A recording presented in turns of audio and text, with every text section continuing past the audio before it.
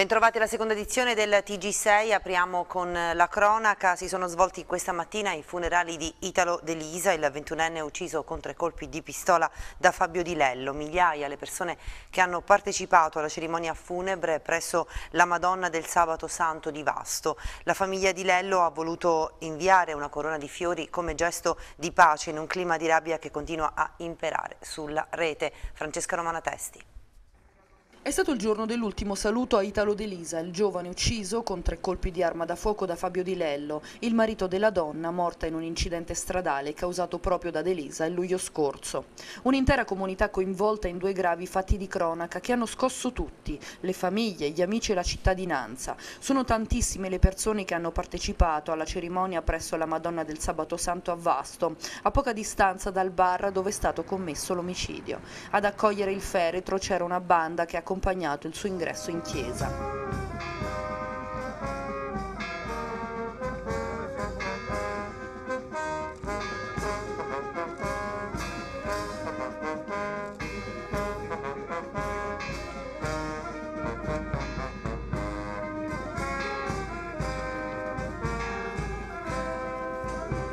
Grande silenzio da parte dei presenti e la richiesta di lasciare fuori le telecamere per un caso di cronaca nera che ha acceso la rabbia sui social richiedendo anche l'intervento del ministro Orlando per un appello alla calma e alla riflessione su come il giustizialismo possa diventare l'arma più pericolosa di tutte. Un appello commosso e addolorato era arrivato ieri anche dal papà di Roberta Smargiassi. La vendetta di Fabio Di Lello nei confronti dell'assassino di sua moglie non era quello che avrebbe voluto né la sua famiglia né la giovane donna. Un gesto di pace poi è arrivato anche dalla famiglia di Lello che ha voluto inviare una corona di fiori nel giorno dell'addio al ventunenne che come ha raccontato il padre dopo quell'incidente era già un morto che riviveva quelle scene nella sua mente ogni notte e scappava da una comunità che sentiva ostile e distante. Tre famiglie oggi unite dal dolore del sangue e dalla perdita del proprio caro. Si è avvalso della facoltà di non rispondere Fabio Di Lello, comparso questa mattina in carcere davanti del GIP mm, presso il Tribunale di Vasto, Caterina Sallusti e del sostituto procuratore della Repubblica Gabriella De Lucia nel corso dell'interrogatorio di garanzia.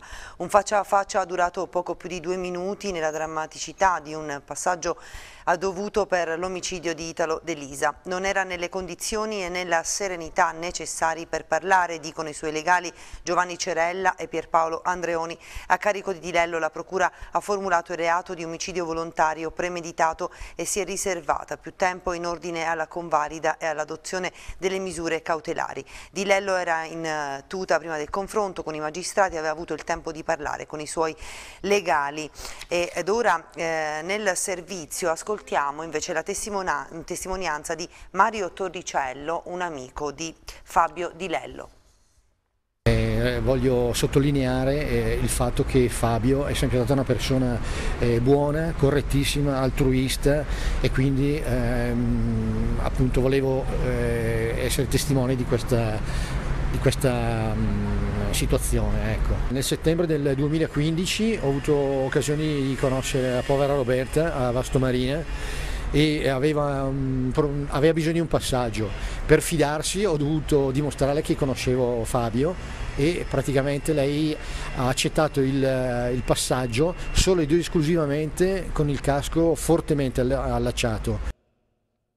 E Fabio Di Lello eh, già da tempo avrebbe premeditato l'uccisione del ventunenne che nel luglio scorso aveva provocato l'incidente stradale mortale di sua moglie Roberta Smargiassi. A sostenerlo Pompeo Del Re, avvocato dei Delisa, dopo aver svolto un'autonoma indagine difensiva oltre ad aver comunicato delle conversazioni avvenute da Di Lello con una persona ora da identificare che segnalava dove si trovasse Italo. Siamo stati convocati dalla Procura procura, dichiara del Re, per verificare le chiamate fatte e ricevute dal cellulare di Di Lello e il traffico e, e i contenuti del suo computer, in particolare se qualcuno ha avvertito telefonicamente Di Lello informandolo della presenza mercoledì pomeriggio di Italo davanti al drink bar.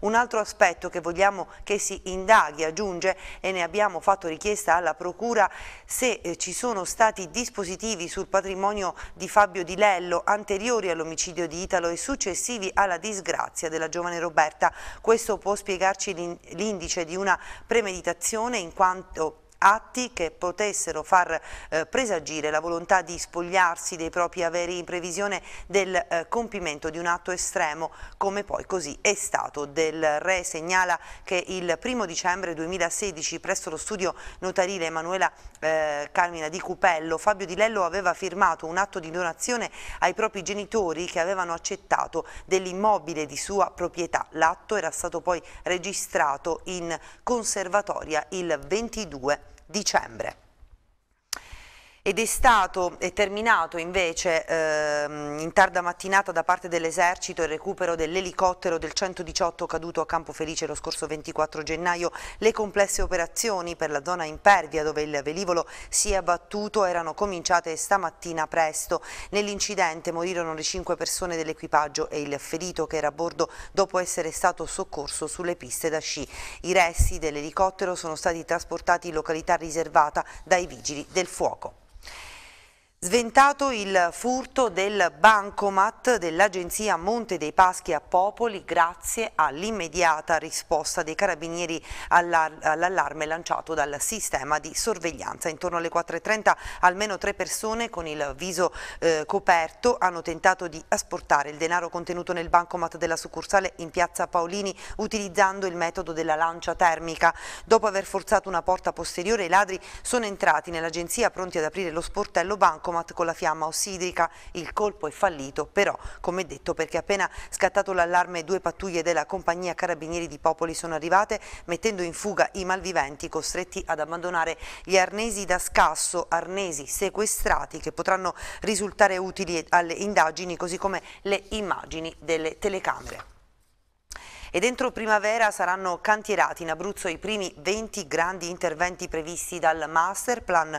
Ieri all'Aquila il punto della situazione del patto per l'Abruzzo alla presenza del Ministro per la coesione territoriale De Vincenti, Andrea Costantini.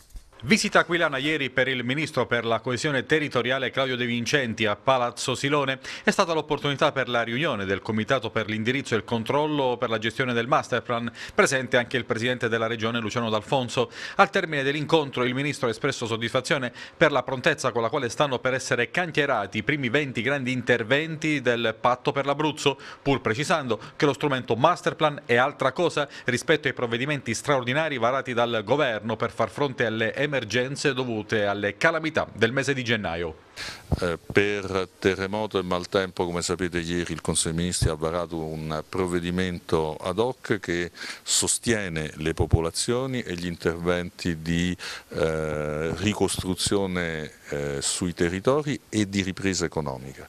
Eh, il patto per l'Abruzzo è molto importante perché definisce un quadro complessivo di interventi sia nelle zone che sono state colpite dagli eventi sismici e dall'emergenza neve, sia più complessivo su tutto l'Abruzzo che eh, aiuterà la ripresa economica e sociale di tutta la regione. Ricordo che la regione ha già avuto eh, già fatto registrare tassi di crescita più alti della media nazionale, dobbiamo continuare così, il patto per l'Abruzzo è lo strumento per ottenere questo risultato ed è uno strumento di speranza per tutti, anche per le popolazioni più colpite dagli eventi di queste settimane. Abbiamo eh, diversi interventi più di 20 interventi che eh, verranno cantierati in questi prossimi mesi, eh, diverse progettazioni molto avanzate con procedure ad evidenza pubblica che partiranno molto presto. Io credo che gli investimenti previsti dal patto si cominceranno a vedere già in questa primavera e tutti i danni diretti e indiretti causati dal maltempo delle scorse settimane saranno risarciti tramite la delibera del Consiglio dei Ministri del 20 gennaio, lo puntualizza il Presidente della eh, Regione Luciano D'Alfonso. Ascoltiamo. Gli imprenditori della provincia di Teramo che hanno subito danni a causa della straordinaria ondata di maltempo del mese di gennaio saranno risarciti, lo ha puntualizzato il presidente della regione Luciano D'Alfonso facendo seguito alle polemiche che si sono innescate all'indomani dell'emanazione del decreto legge per il terremoto, strumento che mette in campo una serie di iniziative a favore dei comuni del cratere sismico e anche quelli al di fuori del cratere ma con dei danni significativi dovuti al sisma. Per ottenere i risarcimenti dai danni del maltempo però gli imprenditori ed esercenti attività della provincia provincia di Teramo e non solo, devono rifarsi alla delibera del Consiglio dei Ministri del 20 gennaio che riconosce per l'Abruzzo lo stato di emergenza nazionale. Noi abbiamo il decreto legge che si occupa di facilitare la ricostruzione nei comuni del cratere e anche nei comuni fuori cratere che hanno subito danni. Aumentiamo le risorse umane al servizio dei comuni del cratere per quanto riguarda il lavoro amministrativo necessario. Si rende pesante la busta paga di chi lavora nelle imprese del cratere. Si determina lo spostamento degli oneri fiscali e contributivi per le imprese che sono nel cratere. Per quanto concerne i danni da calamità, da avversità atmosferiche, c'è la delibera del Consiglio dei Ministri del 20 di gennaio che consente il riconoscimento di tutti i danni che si sono determinati in termini di causa-effetto con la nevicata e verranno coperti così come è già accaduto nel 2015. Quali danni sono oggetto di questa mia precisazione? I danni diretti di beni pubblici e beni privati. Adesso dobbiamo trovare una soluzione per i cosiddetti cosiddetti danni indiretti, per esempio un danno indiretto la mancata prenotazione in un albergo in un lasso di tempo nel quale c'è stata una straordinaria nevicata. Questa è una condizione di danno indiretto che dobbiamo ancora fronteggiare tutti i danni diretti da nevicata oggettivamente dimostrati trovano copertura. Il, il, deputato di Forza Italia Fabrizio Di Stefano critica il decreto per l'emergenza Centro Italia varato dal governo perché non includerebbe interventi a sostegno dei danni provocati dal maltempo e annuncia una guerra di emendamenti nella discussione per la conversione in legge. Intanto dal centro-sinistra Gianluca Fusilli ribatte gli interventi per il maltempo sono compresi nello stato di emergenza chiesto da Regione Abruzzo. Alfredo Primante. Il decreto varato due giorni fa dal governo a sostegno dell'emergenza che sta vivendo il centro Italia in soli due giorni ha provocato un vespaio di polemiche in Abruzzo, già perché in molti si aspettavano misure per il sostegno alla popolazione colpita a metà gennaio dall'eccezionale ondata di maltempo ed invece almeno dalla bozza di decreto e dal comunicato stampa di Palazzo Chigi ci sono solo interventi per il post-sisma e un ristoro per allevatori e agricoltori. Troppo poco secondo il centrodestra che con il deputato Fabrizio Di Stefano annuncia una valanga di emendamenti emendamenti all'atto del passaggio in Parlamento per la conversione in legge del decreto. Eh, poi assistiamo che il Presidente eh, si dice soddisfatto, io ricordo a me stesso che una delle sue proposte principali era la zona franca che non trova traccia, ma al di là della zona franca non si trova traccia del, del, di eh, interventi eh, a sostegno degli enti locali che hanno dovuto affrontare spese ingenti, se non l'emergenza, l'emergenza che era primo, quei primi 30 milioni di euro che avrebbero dovuto essere seguiti da un, dal decreto conseguenziale. Eh, credo che con 30 milioni eh, neanche eh, Teramo o Chieti eh, riescono a coprire le, le spese che hanno, e i danni che hanno avuto. Di Stefano critica le dichiarazioni di D'Alfonso che si è detto soddisfatto delle misure governative ed invita il governo regionale e nazionale ad occuparsi in maniera stringente anche dei disservizi di Enel, Terna e Telecom al fine di ottenere rimborsi maggiorati rispetto a quanto previsto dalla legge.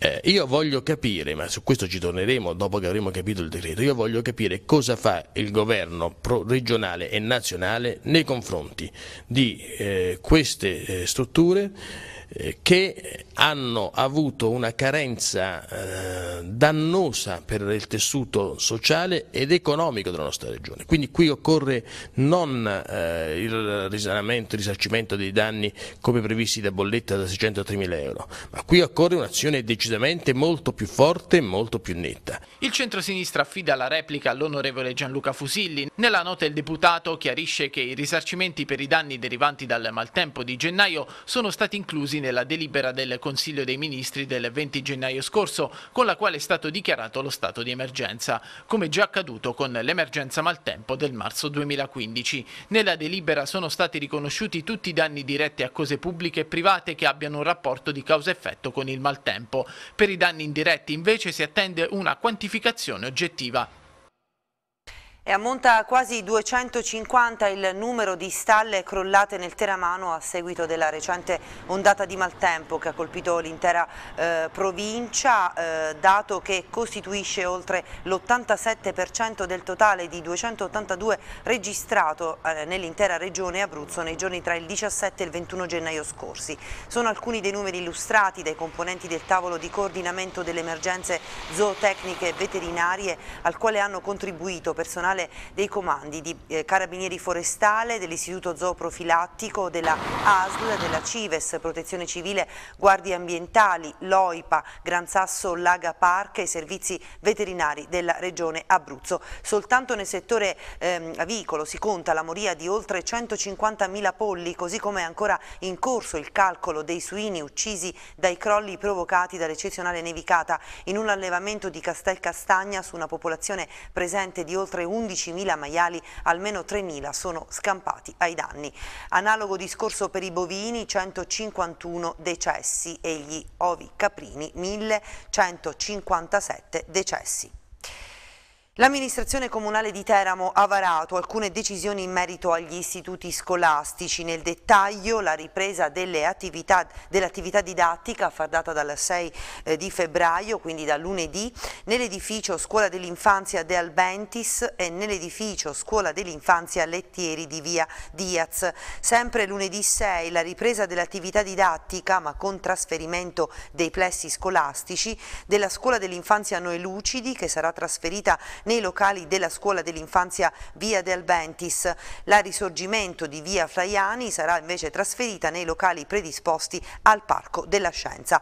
La scuola dell'infanzia, inoltre ex San Giuseppe di Via Diaz, sarà trasferita nei locali eh, della scuola Molinari di Piazza Aldo Moro. Restano chiuse fino a nuova ordinanza la scuola primaria Piano della Lenta, la scuola dell'infanzia eh, Miss Gioia, la scuola dell'infanzia di Collatterato Basso e la scuola dell'infanzia infanzia di Piano Daccio. Infine restano chiusi l'asilo nido Pinocchio in zona Gamarana e l'asilo nido Accademia Pollicino a Collaterrato Basso. L'aumento delle temperature eh, sta eh, determinando una serie di eventi franosi in ampie zone del territorio della città di Teramo a causa della grande quantità di neve accumulatasi eh, nei giorni scorsi. Il Comune, stanziando fondi per somma urgenza, ha dato il via a interventi nelle quattro zone di Coste Sant'Agostino, Mezzanotte, Rapino e San Pietro ad Alacum, dove sono in corso interventi di consolidamento e risanamento idrogeologico e si sta ripristinando la viabilità stradale. Poiché l'entità degli interventi interventi potrebbe richiedere un impegno economico di alcuni milioni di euro, il sindaco interesserà la regione Abruzzo e il governo chiedendo espliciti finanziamenti in regione dell'impegno assunto dallo stesso governatore di adoperarsi per fronteggiare il dissesto idrogeologico. Dalla stessa regione è stata comunicata la formalizzazione della copertura finanziaria per l'intervento in Coste Sant'Agostino con un importo di 750 mila euro, un contributo per il quale, si legge nella nota, il sindaco sindaco Maurizio Brucchi ringrazia anche per la rapidità il governatore D'Alfonso. Mauro Febo definisce uno scandalo l'appalto per il servizio ristorazione all'ASL di Chieti. Aggiudicato dopo vent'anni, adesso i lavoratori si trovano a fare conti con una forte riduzione dell'orario di lavoro e del salario. Febo ha annunciato di voler portare la questione nella commissione di vigilanza regionale che presiede. Ascoltiamo. Approderà in commissione vigilanza della Regione Abruzzo la gara d'appalto per il servizio di ristorazione per i pazienti dei presidi ospedalieri della ASL numero 2, una gara che si attendeva da un ventennio vinta dalla RT Dusman Servizi Integrati che ha offerto un ribasso d'asta del 5,82%. La ditta appaltatrice ha spiegato il presidente della commissione di vigilanza Mauro Febbo, così come prevedono le norme ha assolbito il personale che già lavorava per il servizio mensa, applicando consensualmente una prima riduzione degli orari di lavoro, ma nel mese di dicembre la stessa azienda ha inviato una raccomandata ai dipendenti comunicando unilateralmente il cambio del contratto di lavoro portato dal contratto nazionale turismo e commercio a quello delle imprese di pulizie, ma soprattutto, aggiunto Febbo assieme ai consiglieri comunali e provinciali di Forza Italia, ha effettuato una drastica riduzione delle ore di lavoro settimanali da 20 a 7 per gli operatori della mensa, una situazione che Febbo definisce insopportabile insopportabile che secondo il centrodestra merita approfondimenti e riflessioni rispetto alle esternalizzazioni dei servizi ospedalieri. Magari eh, qualcuno doveva vigilare e capire perché eh, al massimo ribasso non si è andato a controllare questo ribasso, forse molti, un errore parte proprio da questo, da questo principio perché credo forse che non ci rientro come costi, se penso che i lavoratori, e parliamo di oh, una ottantina di lavoratori eh, che hanno visto prima un accordo intersindacale che si sono autoridotti eh, un, una parte diciamo, del, eh, dell'orario di lavoro, oggi obbligatoriamente addirittura l'orario viene, viene dimezzato anche di più, ci sono gli aiuti cuochi che da 20 ore settimanali passano a soli 7 ore settimanali, cioè un lavoratore che prima riusciva a percepire 7-750 euro al mese, oggi non arriva a 200 euro, non so come si possa vivere con 200 euro. Sempre secondo il centrodestra ci sarebbe una riduzione anche della qualità dei cibi serviti. A testimoniare questo ci sarebbe la riduzione da 430 pasti giornalieri forniti a 230-250. Così si dimostra, dicono i forzisti, che i pazienti rifiutano un pasto poco gradito proveniente dall'esterno e non in linea peraltro con la dieta sanitaria. Pasti che vengono prodotti a Pescara per essere distribuiti ai presidi di Pescara, Chieti, Guardiagrele e Torrevecchia. La cucina di Chieti infatti è stata chiusa in attesa di ristrutturazione. Anche qui, come mai da 450 pasti siamo scesi a 230 pasti? Vuol dire forse che i ricoverati non accettano quella, quella, quel servizio, hanno un rifiuto di quel servizio su questo farò eh, ampia, eh, un, ampia, luce, prima con una convocazione in commissione di vigilanza, ma soprattutto andando con dei tecnici a fare i sopralluoghi giornalieri. In Abruzzo, lo sportello SOS Anti-Equitalia, inaugurato a Francavilla al Mare dal Movimento 5 Stelle, sarà un punto d'ascolto regionale per i cittadini che hanno problemi con le cartelle esattoriali il servizio. Uno sportello rivolto ai cittadini in difficoltà con le cartelle esattoriali di Equitalia e questo è l'obiettivo del primo punto civico di ascolto SOS Anti-Equitalia inaugurato a Francavilla dal gruppo del Movimento 5 Stelle. L'iniziativa è al momento l'unica in Regione Abruzzo e metterà a disposizione una serie di esperti, commercialisti, avvocati e psicologi che gratuitamente cercheranno di indirizzare verso la soluzione i problemi relativi alle cartelle. Noi abbiamo intenzione praticamente di assistere queste persone, dare i consigli le informazioni, eh, quelle prime nozioni che sono necessarie per cominciare ad affrontare la problematica. Poi chiaramente indirizzeremo nei, nei vari professionisti coloro che poi hanno bisogno di portare avanti la pratica, chiaramente non vogliamo strumentalizzare la, la, la questione, però eh, penso che in questo momento c'era bisogno di avere uno sportello come questo, aperto il mercoledì mattina dalle 8.30 alle 11, in breve appuntamento, abbiamo una mail, insomma eh, le, le, troverete comunque anche pubblicizzate e in quella sede poi cominciamo ad affrontare con le persone la problematica, con la documentazione che ci porteranno e cominceremo a dare così eh, le prime, le prime, i primi ragguagli e le prime informazioni. Lo sportello fa seguito ad una lunga battaglia che il Movimento 5 Stelle conduce dal 2014 proprio contro Equitalia i grillini infatti più volte hanno invocato l'abolizione della società di riscossione presentando anche una proposta di legge in Parlamento destinata a trasferire le competenze attualmente in capo ad Equitalia alla Agenzia delle Entrate. Questo è il primo sportello, ma è un sportello a valenza regionale. Io ringrazio il gruppo di Francavilla, capitanato da Livio Salchese, dal nostro consigliere comunale, che sarà il responsabile di questo sportello. Ogni cittadino potrà richiedere aiuto, tutela. È una grande rivoluzione, è una delle, de, delle tante rivoluzioni che il Movimento 5 Stelle ha messo in piedi in questo Paese. Ed ora passiamo alla pagina sportiva, prima convocazione in maglia Pescara per Montari che domani quasi certamente sarà in campo contro la Lazio, per lui posizione classica di mezzala mentre in regia potrebbe rivedersi Brugman con un turno di riposo per Bruno. Ancora fuori causa Gilardino, Bovo, Campagnaro e Coda, torna tra i convocati invece Vitturini. Il tecnico Oddo fa intendere che per la partita di domani ci saranno novità senza però eh, rivelarle. Eh, ascoltiamolo. Beh, esperienza, qualità, perché è comunque un giocatore di qualità, un giocatore che può trasmettere positività alla squadra, che non deve mai mancare, perché eh, anche e soprattutto nei momenti difficili la positività non deve mai mancare, altrimenti solo, puoi solo fare peggio. Quindi lui è un giocatore positivo, è uno che è arrivato praticamente nella stessa posizione di classifica in cui siamo ora, però ha fatto una scelta e è stato coerente, scalpita, è fuori, non vede l'ora di dare una mano e ci auguriamo che possa darci eh, una grande mano in campo, ma su questo, su questo non ho dubbi. Noi abbiamo preparato una partita per eh, non stare così, basso, così bassi come lo siamo stati contro la Fiorentina, e però poi ci siamo, dipenderà anche dalla forza della Lazio. In mente ho qualcosa ma non... No, no ma non, non, perché non voglio dire, non voglio dare eh, vantaggi, non voglio far capire che giocatori giocano, perché sicuramente qualcosa cambierò, perché insomma abbiamo fatto tre partite in una settimana.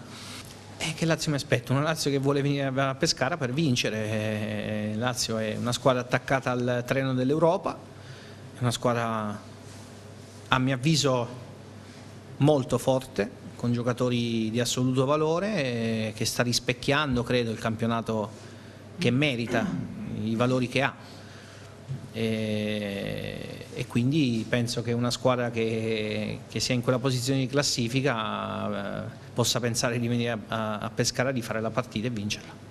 Che clima ti aspetti Ma il clima domenica, non, non, cioè mercoledì non c'era un clima ostile. E calcolando? Sì, poi abbiamo segnato e il clima stile è diventato di supporto, perché questa è la normalità del calcio, ma è così da tutte le parti. Fino a quando siamo stati sull'1-0 c'era grande entusiasmo, io sentivo la passione dei tifosi, il credere di poter vincere una partita, quindi, ma questo fa parte del calcio e ci aspettiamo questo.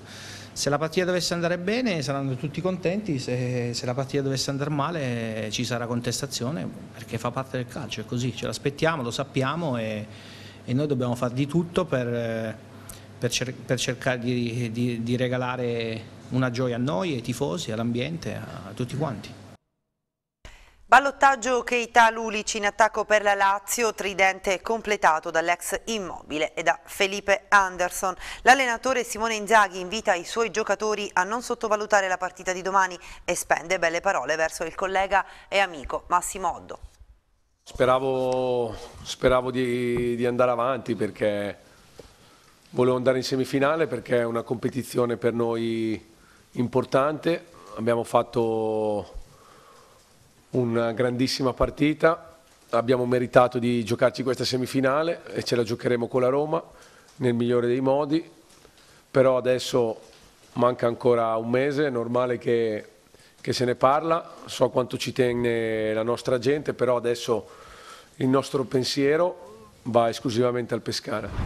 Domani a livello di concentrazione mentale sicuramente dovremo essere, dovremo essere sul pezzo sicuramente più della gara di San Siro perché affrontiamo una squadra che, mh, mm, che gioca un buon calcio, che a parer mio ha una classifica bugiarda, si è rinforzata col mercato di gennaio e quindi quello che ho chiesto alla squadra in questi due o tre giorni è di approcciarla nel modo giusto perché se no potrebbe, mh, potrebbe, prospettarsi una partita molto insidiosa perché giocheremo in trasferta, sappiamo che a Pescara ci tengono questa partita, l'allenatore del Pescara è un amico è un allenatore molto bravo e preparato e noi dovremo cercare di, di approcciare nel migliore dei modi perché come ho detto prima il Pescara ha una classifica bugiarda che non rispecchia quello che ha fatto in campo. In Lega Pro sarà Antonio Narciso a difendere domani la porta della Teramo contro il Sant'Arcangelo, non convocato Branduani, prima convocazione anche per gli attaccanti Tempesti e Barbuti. Quest'ultimo sarà titolare con Sansovini. Ascoltiamo nel servizio i neo attaccanti biancorossi alla vigilia del eh, delicato match ai microfoni di Ania Cantagalli.